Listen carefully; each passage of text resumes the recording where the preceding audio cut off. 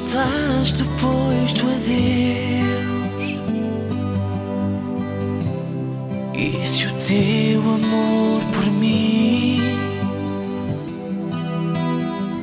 está ainda igual ao meu?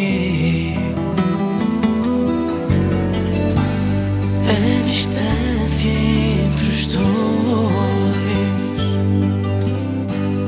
só fez mesmo